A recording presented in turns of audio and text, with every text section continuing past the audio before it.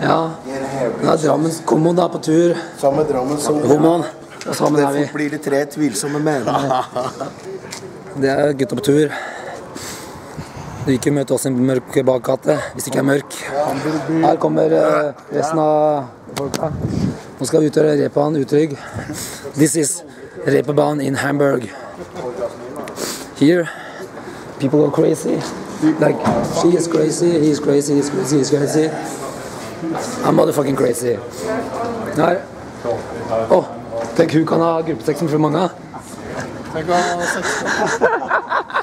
Du ikke det? Du ikke Ingeborg? Her, ja. Her skulle du vært han, Ingeborg. Du er Magnus. Sex House. Skal du inn der, var det du sa, Magnus? Skal inn på Sex House, var ikke det? Her. Den.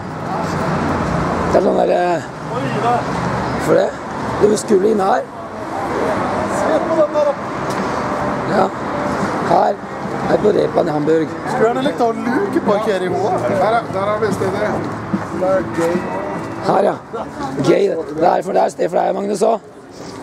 Pizza Hut, mener du? Yes, pizza slut. Ja, det er Yngve sin. Her, ja.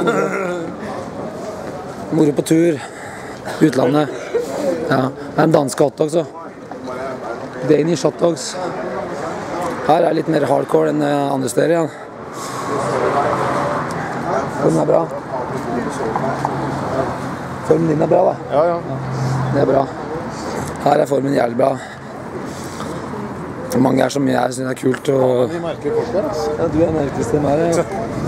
Er det deg? Ja, ja.